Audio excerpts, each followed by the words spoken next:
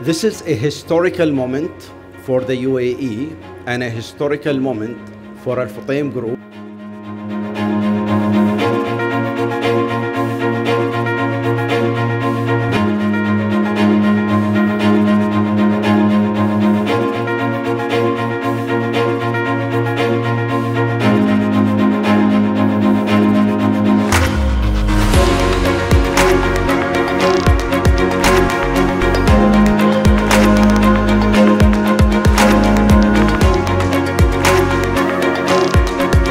We recognise the urgency and importance for sustainable action in automotive.